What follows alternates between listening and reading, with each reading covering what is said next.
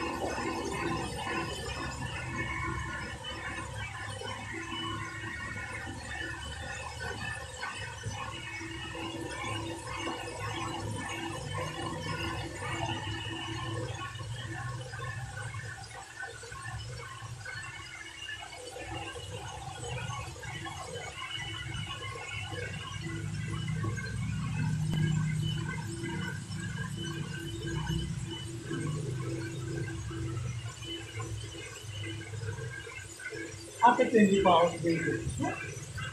Hanggang 11. Nakawag kami na pinatili. Han, eh, kasi parbangon mga 3 kasi kita open. 3 or 4. Pagbangon. Oo, pagbangon. Hmm, depende aja nakatoka ano na sa pagriingon mo haan. Pero na aja may isa amin ko at alas 5 lang kasi ay. Wala daw ang griing.